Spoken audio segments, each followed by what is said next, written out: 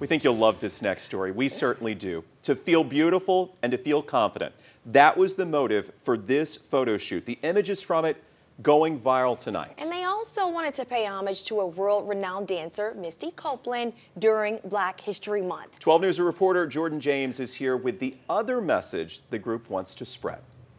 Yeah, that's right, Jordan. These photos were taken earlier this month here in Beaumont. Since the story was shared by ABC News this morning, it has been seen by millions. The images have sparked conversations about diversity in dance.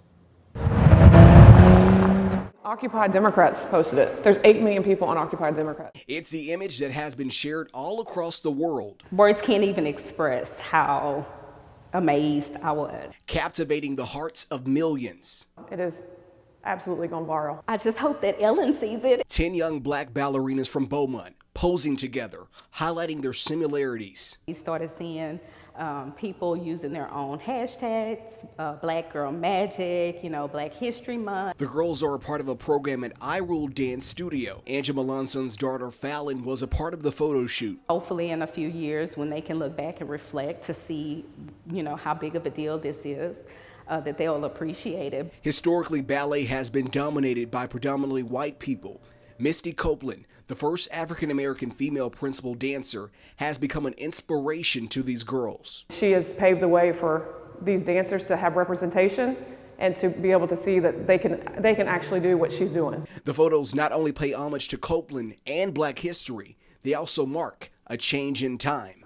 It doesn't matter black, white, yellow, green, purple, like you can do anything in this world, and dance is a, is a, a great uh, way to, to get you to do that. As the photos continue to get shared, this mom hopes that their message is not forgotten. They can be anything that they want to be. They can do anything that they want to do. And they can be like Misty Copeland one day if that's what they choose to do. I Rule Dance Studio is having their spring show next Saturday, February 29th at Westbrook Performing Arts Center where you can check out these girls along with see what else they have to offer. In studio, Jordan James, 12 News. Oh my goodness, I feel like I should get this tattooed on me somewhere because I'm always preaching about representation and how much it matters. And this is just a prime example, right? And you can teach that at such a young age and, and mm-hmm. inspire in the process. And I, I, keep saying this, but that show on the February 29th at Westbrook, you know, may have some visitors because of because of how much uh, their story has already been quickly shared. So, Ellen, are you listening? Ellen, okay.